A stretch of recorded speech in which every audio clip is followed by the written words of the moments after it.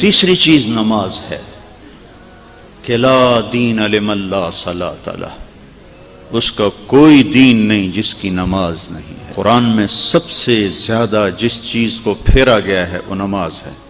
سات سو دفعہ نماز کو دہرایا گیا ہے قرآن میں۔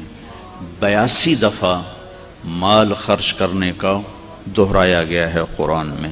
سات سو اور بیاسی، کتنا فرق ہے؟